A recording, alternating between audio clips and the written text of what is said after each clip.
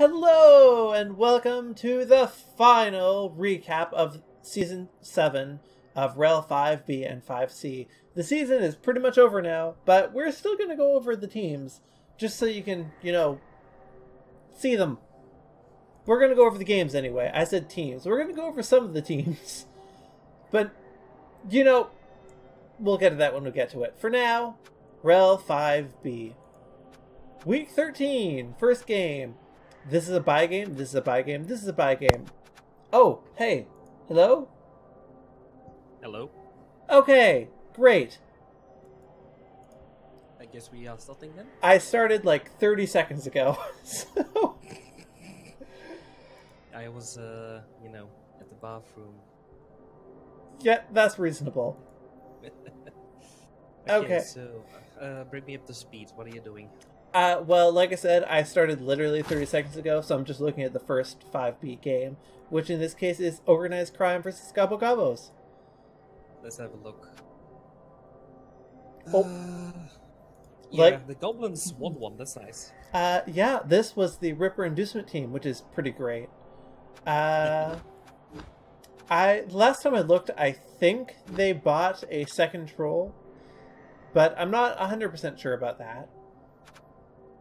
Uh, but yeah, they beat Organized Crime, Spigosaurus's all ogre, no Gnoblar ogre team. So, uh, I guess we, I guess, uh, I guess we see who has proved to be a better stunty coach. Yep. The team that actually has stunty players. I do have to say, like, I liked the start of organized crime, but now that we are 13 matches in the season, they seem to have developed a few players, but not like extremely well. Like another ogre team we have in our division. Uh, yeah, like I mean, part of it, to be fair, I think it's hard to develop ogres. Like it's really hard to develop ogres. It's pure dice to do so, Yeah. right? But at the same time, at the same time, like for a team with literally nothing but ogres on it, you would expect the ogres to be more developed than this. Uh, and that might be why he was struggling towards the end of the season. Because I agree, I think Spigosaurus's strongest part was like maybe not quite in the middle, but like just well, yeah, like around the middle of the season is probably when his team was strongest, and that, and I think that's when he was doing the best. We also know which two teams are going to go to the playoffs in this division, by the way. Yep, we do. It's the Dwarf and the Lizardmen. No, it is not. Uh, it is the elves and the li- lizardmen. There's a story behind that, uh, which we will, which I will go over when we're covering the teams. Okay. So, uh, Well, I mean, Pantheon Passers does get a uh, bye week now, mhm. yeah, that's that's part of it.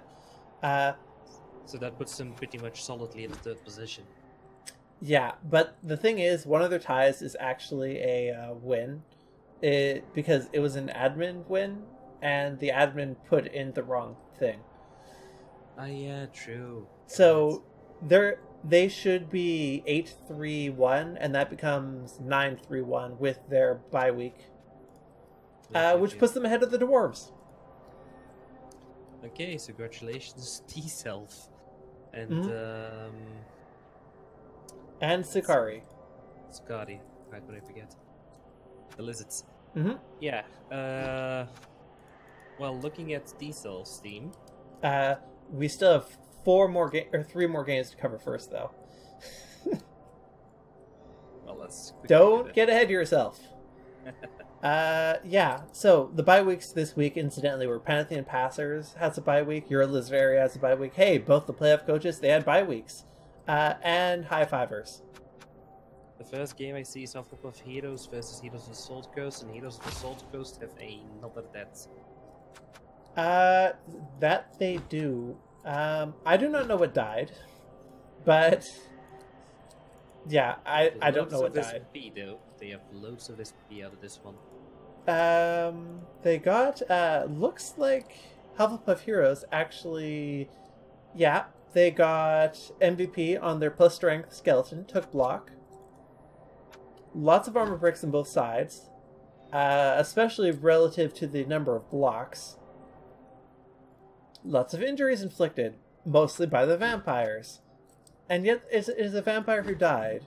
Um, I noticed that the Hufflepuff heroes don't have a kill inflicted, so whatever died on the vampires was either a foul or a self-inflicted.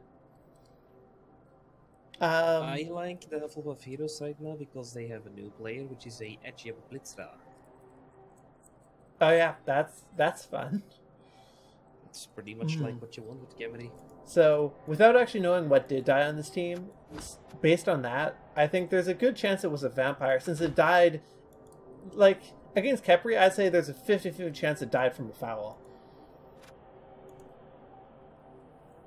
So, Yeah. uh, yeah. There's a very, very big chance. So even though he doesn't have the deep player, I think it Mhm. might be that. I look forward to seeing the Hufflepuff Heroes next season, but I'm not sure. I feel like this Kepler team is definitely going to be returning next season. I'm not sure about this vampire team. It has not had an easy time with its development.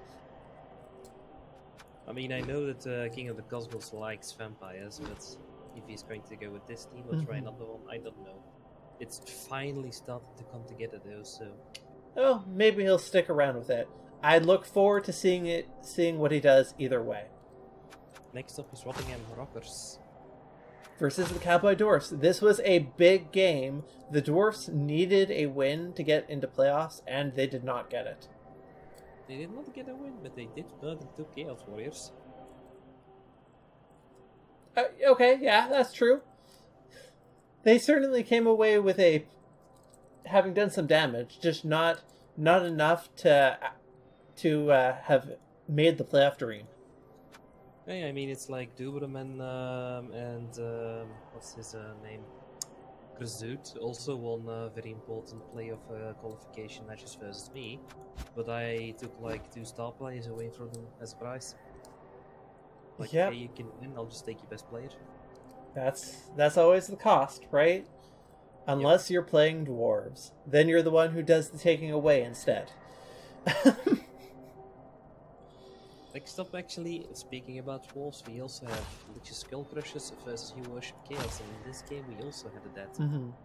One Chaos blocker with Mighty Blow died, so Lich is now down a Mighty Blow piece. He doesn't have a full roster of Mighty Blow anymore. That hurts a little, but I think there are worse things to lose. Like I, I would much rather lose uh, Mighty Blow guy than say a Claw guy. I keep my first observation, and that's the fact that this team, even though it's like average now, like in a few seasons, the Lich's Skull Crushers are going to be a really, really annoying menace to Mhm. deal with. I mean, Because if you look at skills, Mhm. how they are falling and so on, they are going to be annoying.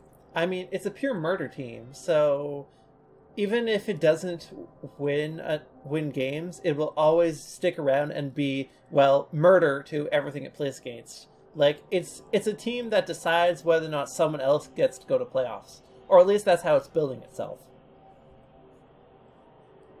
Yep. Uh, and uh, yeah, there was thirty-seven blocks to forty, tons of injuries inflicted. Uh, again, the team that got killed was the one who did most of the actual inflicted most of the injuries. But, uh, I mean, Euro Worship Chaos, even though they have a missed next game Zerka now and a missed next game Wolf, they do look good for the next uh, season. Yep, I expect both of these teams will be coming back.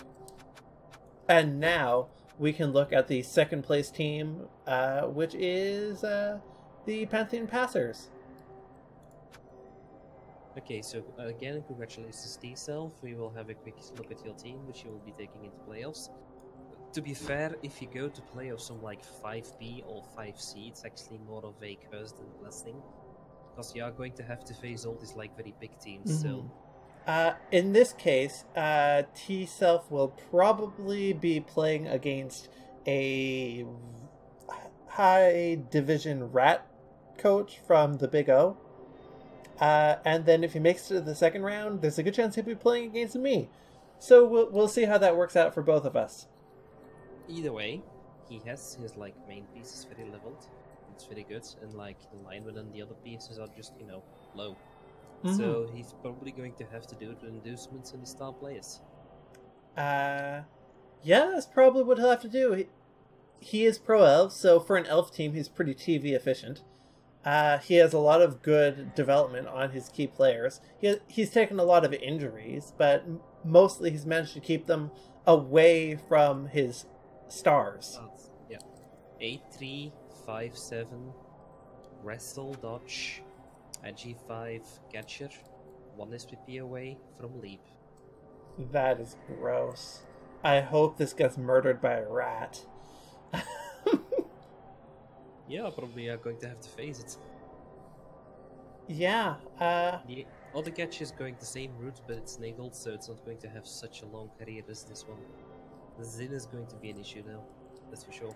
well, it doesn't have wrestle, so he might make it specialized for something else. Probably Either still going to take a leap though. It's looking good for them. Yeah, it Let's is. look at the other team, Tsukari. First place, Sukari, you're a lizardary. Uh, again, if again, the, the- the, the block score, the first one died, but he has a new one. no, this is like his third. Um, this is like his third Crocs, isn't it? Stop rolling doubles in those boxes. They keep dying if you do so. Oh, you know he's not in the competition anymore. Yeah, he's right now, I think, waiting for the play ticket. Yeah, just it means the search en- the search engine on the side doesn't want to find him anymore. Either Yeah. that or I spelled his name wrong. Could be either one. Oh. Uh, I'll I'll say what he has. He's like a Bloxigor. nah, I got it. He has a Block Mighty Blow Mhm. Tackle Saurus, a Blotch Saurus. That's going to be a break tackle piece really soon with a Saur Garden, probably stuff like that. A Blocksaurus. No, new guy, got block. Strength 5 Saurus. Very useful. And then two Rokisauruses. Yeah, this is a really good looking lizard team. It is really TV efficient as well. Like looking at this, the only thing on this team that I would want that isn't here here is a agility four skink. Yeah. I think the only thing that Tsukari does not want to face right now with this team at this moment is like pure kill teams with like Claw Mighty Blow and all that. Mm-hmm. He should be fine. And I mean like there it definitely has more room to develop, but like this is a really solid looking team. Uh and I don't believe I seriously don't believe he rolled block on another Kroxigor. Well, on the other hand, with the luck he's had with with Croxes, it's bound to roll a armor bust soon. Let's hope for Tsukari for not, but you know, it's going to happen probably. Uh, yeah, uh, he does have the magic weather dome, so he does have a counter t- to the bane of all lizard teams. Um, I don't know who he's playing in playoffs. I only, I only know the Pantheon Passers because it's so close to my own spot. Uh, yeah, I. Depending on the matchup, he I could see him getting to the second or third round of playoffs with this team. It just it really depends on who he's playing against. And like I said, if it's a pure kill team, then he's probably going to be in trouble. But I think this, with the advantage of inducements, I think this team can probably handle uh, a lot of other teams. Well, we'll see what the future brings to them. That we will. And on that note, that brings us. Uh, wow, we're going fast. That's fine though. Fast is good. Um, Well, you have a match. soon, I have a match in so- 40 minutes. Uh, that brings us to Div 5C. This the- week we have the Grungy Desserts winning versus Frozen Dead North, which is a, I keep forgetting, necromantic team, the Lost team. Yep, you and I both. Um, Glory wins, uh, I mean loses versus Blanc Grungy Desserts versus Frozen Dead North. This was a bloody game. Two dead Nurgle and one dead Necro. No, I really wish I knew what died. Um, Look at Grungy Desserts first, which was Toticus no Riedel team, which now owns three Riedels. does he have all his, all of his positionals? Uh, I think to no, it's impossible.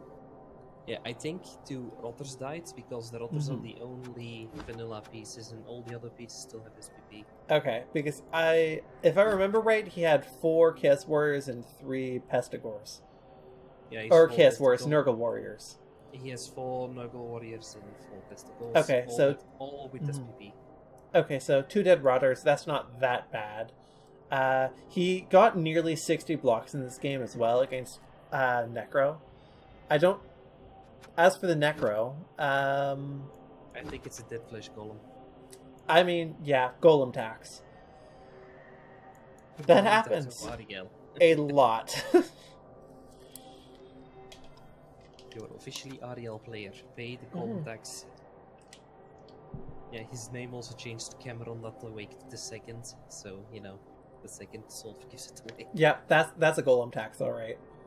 Okay, next game is Khorne's Glory versus Le Grand Bleu, which was won by, by the elves, two to one. I'm surprised that like Lamblin got out of this with so little damage. Um, 35 blocks. So he did a good job. He actually did more blocking than the Chaos Coach did. Yeah, but So- this is this, like this is like this murder uh Khorne team with only Mighty Blow and Claw. Yeah, and he, and the elves made more blocks than the Chaos did. The still managed to do three injuries and three KOs, but uh, I think this this looks to me like um, like the Grand Bleu just outplayed Khorne's Glory. Yeah, I mean this team is also just playing pure Russian. It's not like it's using brains to play. It's just Mighty Blow, Claw, Mighty Blow, Claw, and everything. Mm-hmm. Uh, three successful passes, 50% ball possession on either side, actually. Um, lots of SPP. Yeah. Um, considering these teams, I think we'll see them both next season. Like, Chaos for sure. Because, again, this is a murder team. It needs to develop more. It needs to Uh. And I think Le Grand Bleu, it like they've taken some hits, but they've done pretty well, and they haven't lost too many players. So I definitely look forward to seeing them next season as well. And now, also, next match, I'm going to let you, for the last time, try to pronounce the name. Kenta Karas uh, Cretaceans. There we go, you got it after 13 weeks. you finally got it. I mean, I'm not sure that's actually exactly how it's pronounced, but I um, think it's Kentakiras Cretaceans, but eh, anyway. uh, so yeah, this was a 2-1 win for the Lizards. Not too surprising. They've been doing pretty well this season. Uh, not a ton of armor breaks on either side. And well, there's no kills anyway. it's a lot of ball possession and like shoving people Mhm. around, I think. Like, you know, air up of contest. Mm-hmm. Yeah, it looks owns a lot of cards and like Claw doesn't really have much mighty blow yet, so And uh, I think Doom Anvil doesn't really have enough guard yet to handle lizards, as is evidenced by the lizards outblocking them by over 20 blocks. Yep. Like, in any game, as if you're playing dwarves or cast dwarves, if there's any game where you have significantly less blocks than your opponent, then that is a good indicator that something has gone terribly wrong. Like, that applies to a lot of bash teams, but it is especially true of the dwarves. Next match actually has an interesting result, if you ask me. uh, Prona Party versus Royal Rumble Boys, which was One-one. actually a draw. Knowing that Pro on Party is like the leader of um, the division right behind McMackey. I have to assume that this was just his inability to keep healthy players catching up to him. Like, the Royal Rumble Boys got 18 armor breaks in this game. Also, to be fair, you can't really pass against Nurgle, so that probably played an impact as well. But uh, yeah, I- Nurgle had 55 believe- blocks, 6 KOs, 2 injuries. I do believe the Undertaker has something to do with it. Maybe. Then we have Say Hello to My Little Friends, the Goblin team. Versus Can We Do It? Yes, we can. And to little surprise, the Kepri, Khemri win uh, 1 to 0. Lots of 19 armor breaks and two expulsions. And say hello to my little friend has no expulsions. What Um. Okay, well, I know the reason he has no expulsions is because all of his secret weapon players got uh, murdered. They got they got injured, and Blood Bowl Two does not give you an expulsion for that, even though it should. Uh, so yeah, secret weapons got removed by K- Do It, and they got a ton of KOs against the goblins, enough that they were happy to be fouling goblins. Yep. They brought the foul game to goblins for once. 51, Table. 51 successful blocks as well, which is a good number for Khemri, but and a bad number for goblins. You do not want to be blocked that much when you're playing stunty, especially not versus a mighty blow Khemri team. uh, especially not versus a mighty blow Khemri team. And uh, this this can actually be, uh, this is only 1-0. I think Chem, uh, where you might think Kemper do it could have gotten more scoring. The th- the catch with this is, uh, well, first of all, it is worth saying McMackey is a really good coach, playing a really good team, and Negative Pro is a new coach, playing goblins. Yep. So I think that sort of speaks for a lot of the experiences here. Like I don't think he's been doing that badly for his experience level. It's just he's been playing goblins. Um, but having said that, goblins can actually be a tricky matchup for Khemri because goblins can get more strength five players on the or higher on the pitch than Khemri can. This is true. They have a strength 7 piece, a strength 5, and a strength 5 compared to 5, 5, 5, 5. And they can get fungus for only 80 killy. For and Another strength. For another uh, 70, you know, strength Mhm. 7. and you can get Ripper for uh, 270 without the altar. Um, but Ripper gets countered by the fact that Khemri also can get Ramtut. True, but you if if goblins can induce Ripper, then Khemri probably cannot induce Ramtut. If goblins. Um, Actually, if Khemri can induce Ramtut against goblins, then something else has gone terribly wrong. I was about to say. anyway, uh, yeah, I Jazz poisons a bye week. uh, I do actually just want to finish up saying this. Like for Negative Pro, don't let your losses get your head here. You were playing a massively uphill battle this whole time. I think you've done really well. I look forward to seeing what you. Maybe don't take goblins for your next season, or maybe do. I'd I'd love it, but maybe don't. It's up to you. But whatever you end up deciding, I look forward to seeing what you do next season.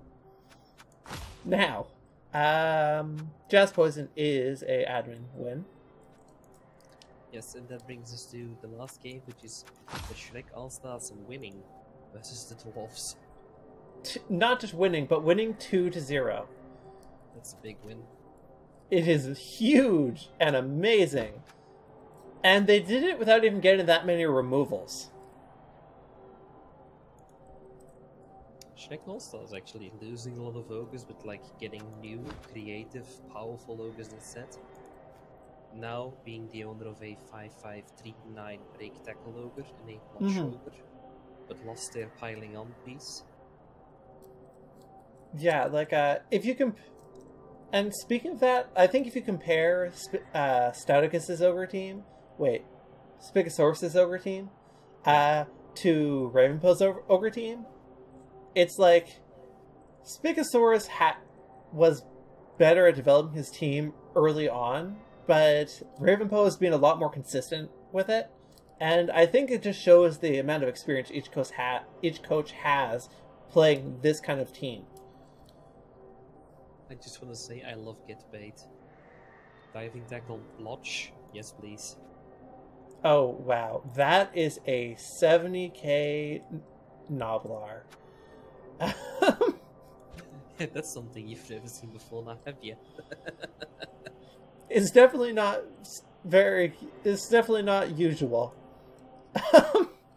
it is definitely very. i- It's just weird, but I agree. I like it. Okay. Uh, yeah. Yeah, I'd like that. And uh, on that note, uh, let's look at the two playoff coaches, starting with the person in second place, pro in a party, Soul of Dragonfire.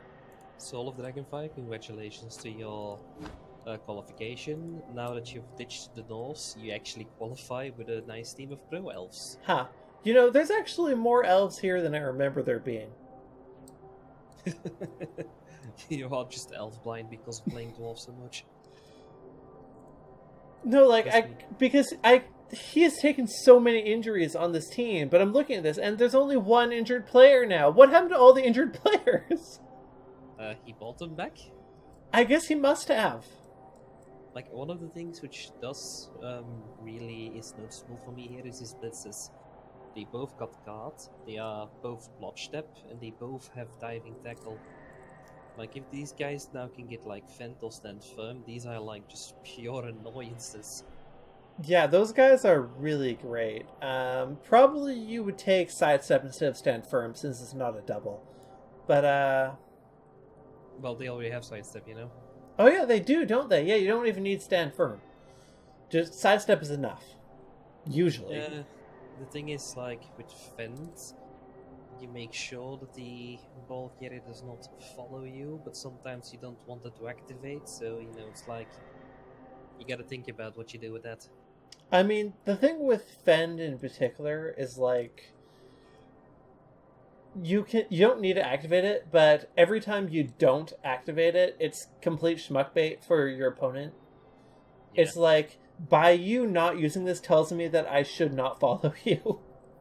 The thing is though, like, But sometimes people aren't paying attention. he's having those two blitzes which are being built like that. hmm Then his other two catches are also being built like that, but are just a little further down the development. Like they still need the guard diving tackle, I guess. And Ah. then he has two ball hawks. Uh, yep, that he does. And uh, he doesn't really have a dedicated receiver. I guess he's playing elves, so he doesn't really need one. Just, I mean, he has four catchers. Like, what else do you need? Agi four with catch. You're gonna catch the ball more often than you don't. Nerves of steel. Eh. Does he really need that? They all have nerves of steel. Oh, they do. Yeah, like they're already perfect catchers. He doesn't need anything else. You don't really play pro elves now, do you? Obviously, I don't. That's one of the reasons why those catches are so amazing. They're only a hundred k they come like with catching nerves of steel, which Wow, like- that, like everywhere where they stand they will catch in a two plus. Why? Why would you ever play high elves when you could play this team? That's also something I wonder. I think the only reason is for the armor eight. Um, the throwers on high elves are better, actually, but I think that's about it. Like, otherwise, this is just a more cost efficient uh, high elf team with better uh, starting skills. Yep. Oy. Okay, well, I don't know who you're playing against, but I honestly, I expect Soul of Dragonfire to, unless he has a terrible matchup, to make it past the first round of playoffs. I don't know how far he'll make it because he does sort of have a reputation for self-destructing spectacularly. Uh, but I expect him to do pretty well in playoffs, at least by, for a uh, one-season team. Our next contender, congratulations McMackey on the awesome record of 11 wins and 2. I think is it draws or losses?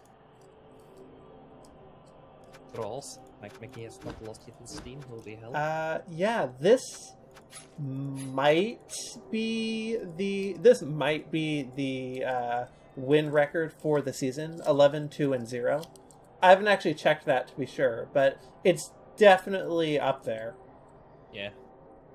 The golden memory standard. hmm because like no one ever d- ever gets a perfect 13 games but 11 11 2 0 is pretty damn close um One of the good things I see about this team is the fact that he has full team, so he's a big bench. He needs the extra bench mhm. because you know 87. Even though while your Tomb Guardians are like 89 and your Blitzers are 88, the rest of your team is 87. Yep So it's good having a big bench. He has two foulers, which is also good. He has a very good receiver. And he has the kill potential which he needs, which is full mighty blow, 100, used to be 2, but the other Mhm. one died. And now he has a block to Guardian. Two guard guys as well, just for when you need to make a block of something that's not a Tomb Guardian. Uh, a pretty good Thro-Ra, and the team as a whole is incredibly TV efficient. It's It's this- a it's, it, it's a really- 14 player team with under 1600 TV. It's a really, really good base to actually develop your team on. Mm-hmm. Yeah, you know, as a Khemri, it's a good base, and you want to just keep on going with it. Yeah, I think I think looking at this team, like the only thing you really want at this point is just maybe a second Thro-Ra, but mostly you, you just want to develop your Tomb Guardians without them accumulating too many injuries. Yep, that's something that my team specializes in. Mm-hmm. I got two And, uh, which are level 5 each. And uh, I don't know what he's playing, who he's playing against in the first round, but I do know he is in the quarter bracket. Uh, this team is in the quarter bracket with the uh, with the uh, college league, not college, the minors winner. Yep. And I don't know how helpful that is for people watching, but you know, there you go. Um, It- It's going to be a nice start Mhm. to his uh, playoff season. I mean, the chance that he is actually going to win it all the way is going to be still small because there are like a lot of like juggernaut teams out there.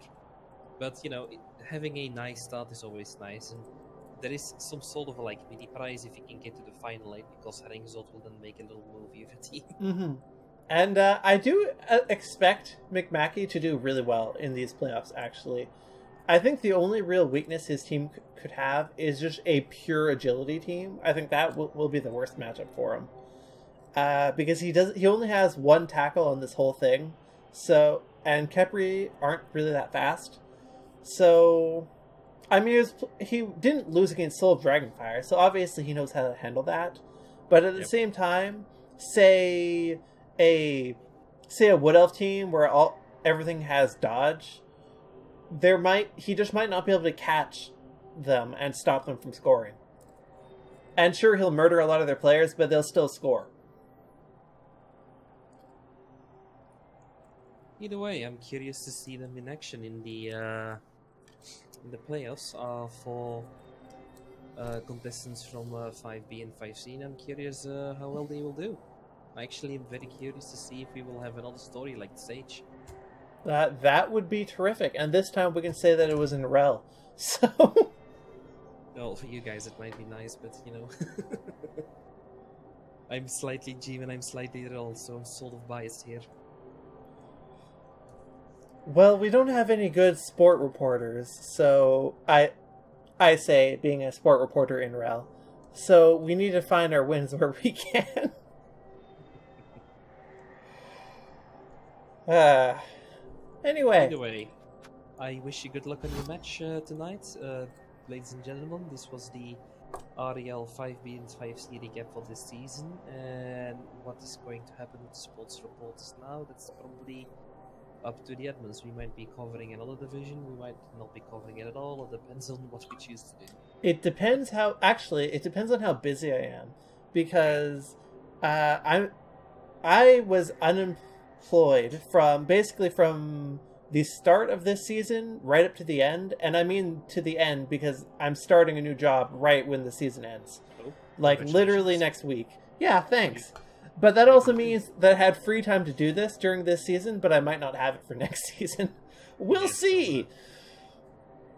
Uh, It- what do you do now? Um, it's uh. Okay. Give me thirty seconds. Uh, until anyway, until next time. If there is a next time, probably there'll be a next time for something. Uh, this has been the recap with Kaosubaloo. And Gengar, and sometimes Nosedive. And good luck with your games. Good night.